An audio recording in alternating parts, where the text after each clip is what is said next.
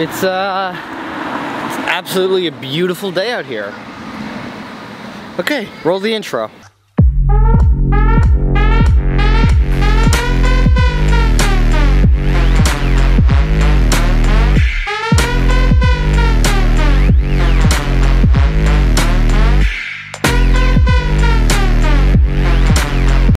Alright, I don't think I've mentioned this yet, but I did fix the old camera that I that happened in the boosted board fall. Um, and so there's something on that camera that's not on this camera that I have to put on this camera. So let me explain. So uh, there's this thing I do on all the cameras, at least all the DSLRs that we have. And uh, well, I, I think I've put this on the vlog once or twice. I'm gonna put it on there again because I think it's such a good camera hack. It's probably my favorite camera hack. I need tape though. All right, let's see. For this hack, you want shipping tape. Clear shipping tape. You, uh, you don't want this tape. Shipping tape is what you want. All right, uh, one other thing is CVS here in Darien, where I went to get the tape. That right here, come on. This, uh, that right there, that's an appropriate length receipt for, for the tape. Uh, not the one I got in New Jersey for six batteries. All right, so finished some work, but I went to CVS, right, because I had to get some batteries, so check this out. All right, so I got my batteries, and then this is this is the receipt. I literally got one. What the? I literally got one thing of batteries. And this. This is the receipt. Sorry if the past few shots have been over exposed during the vlog. I just noticed my whole exposure thing was really high. Um, anyways, back. Time to well, let's, let me show you the hack. All right, so here's the Canon 80D right here. I'm gonna take it off the Gorilla Pod. And this is the Canon right here. So what I do is I have a little pull, basically I have a pull tab on my, uh, on my cameras for, for actually a very good reason. Let me just get set up here. So for a very good reason, which is like, when I when I show something like this and I don't want to come around and talk to the camera, it's really hard to get your fingers in here without touching these buttons to like do that in one like fluid motion. So what I do is like I'll show it here and I'll grab a pull tab and in one fluid motion I can go like this and then talk to the camera. So here's how I make that pull tab. Packers packing tape, you want to make sure you get packing tape, not regular scotch tape. And I try to do a lot because for this very reason. I don't want to use the greasy part, so I kind of do this. And I'm not going to use that either. I'm going to use this part right here. There we go. Do about, I don't know, half an inch to an inch. Like this. Right? And put on the back side of the screen, so the part with no screen. Alright, so then place it right about there. Okay, do you see this right here? Right there, do you see this like pull tab part? This is very crucial. You're gonna fold this part over. Perfect. There we go. Okay, now this will go back on here. So then if you wanted to, you could show something here, and instead of me having to like fumble in here and go like that, and then talk to the camera, I can do this, get my hand ready right away, and go like that, and I'm already talking to the camera. It's I can just grab that pull tab and just pull. So again, get it in there. Let's do it one more time. So, right, we're here. I'm showing you this.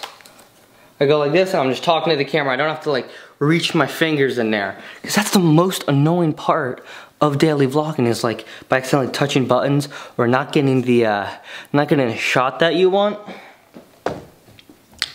Anyway, so that's my, uh, I do that on all the cameras. Alrighty, got some work done, got some work on some of the guitars done, so tuned up, cleaned up, new strings on there, which always feels good. Out for a boosted board ride right now, and then I'm gonna go out and get some food. I'm pretty hungry. Alright, well, uh, back from the boosted board ride. And you know, I was, I, I went over, um, there's a place over here called the Rowayton Market. It's like a nice deli kind of thing. Um, and I looked at the time, it's about four o'clock. Um, so all I did is I just grabbed a Coke. Um, but one thing I was thinking of that maybe I should do uh, for this episode today, to make it a little bit exciting, is to, uh, is to go, there's this one bar, uh, barbecue place I love, uh, literally in a town next over, called Dinosaur Barbecue, and I went to a barbecue spot out in St. Louis called Sugar Fire Barbecue. Got food, got a table about to eat. I'll give you the, the uh, census once I'm almost done and or done eating. It is packed in here. I mean, look at it. It's packed in here. There is, every table is full. It was hard to find a seat, but I got one packed. All right, time to eat. Okay, uh, I feel like I have shit all over my face. Update on the barbecue. Uh, it is so, I mean, so good. Um, I'm gonna do a, I'm gonna do a comparison between Sugar Fire and Dinosaur tonight.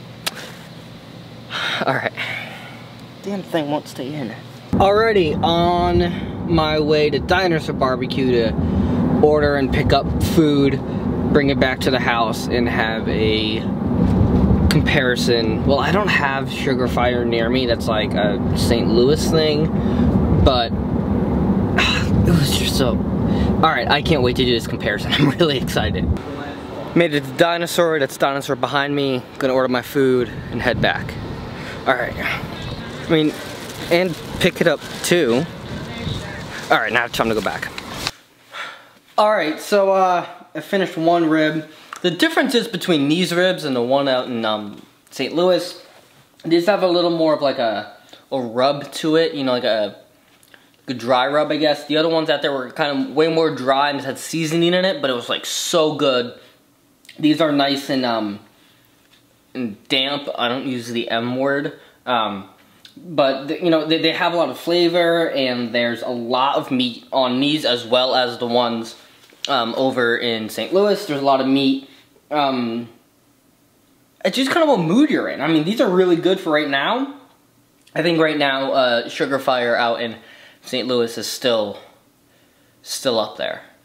All right, I'm gonna get back to eating.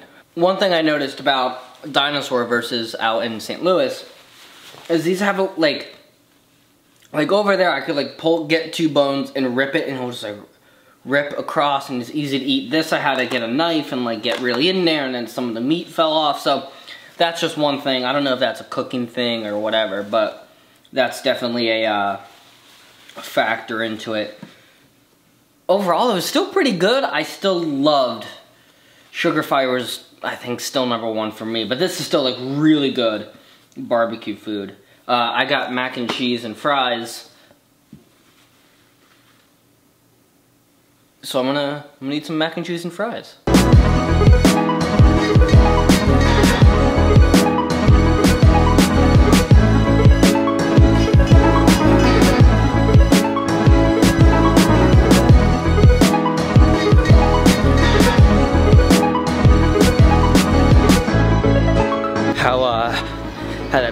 Look.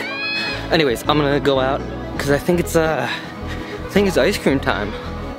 Alrighty, well, uh, gotta clean this place up because they're actually like showing this like, so, anyways, they're showing this house tomorrow, like realtors and stuff, so have to make it look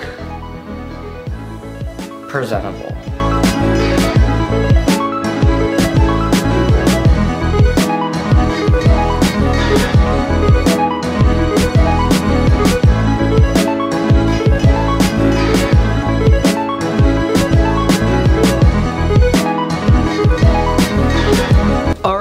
Gonna take out the garbage, and with that being said, I'm also gonna end this episode.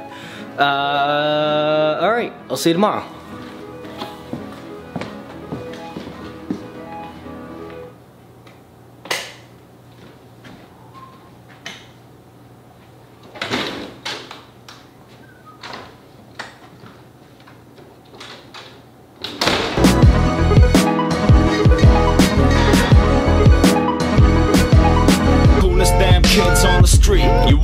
We could kick it all weekend. Baby, no sleep. Speak about whatever till the sun was in the sky. Swimming naked in the ocean while the sky was falling open. Hoping you would fuck me on the beach on my back seat. Listening to rap, so fancy. And every time you'd leave.